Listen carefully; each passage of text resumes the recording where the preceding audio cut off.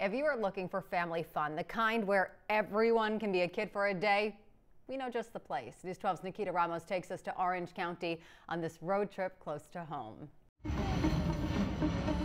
Hey kids, we're going on a royal road trip where you can play for prizes all day long at the Castle Fun Center in Chester. So we are geared for kids and adults. That's why it's a great place to come because the adults can let their inner child out and enjoy it just as much as the kids. There is never a dull moment in this castle, and we start at the extensive arcade. Mixed with old school classics like the all-time favorite Pac-Man, or roll your next high score at skee-ball. And if you're looking for a new challenge, take a swing at virtual reality. This is so!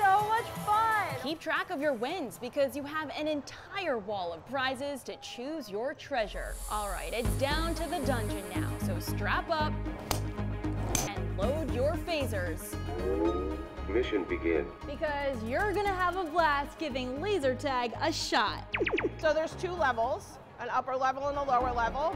Uh, the kids just run around and get their opponents and uh, just have 10 minutes of fun. Let's kick things up a notch at the throne of the castle, here at the new Inflate-A-Park.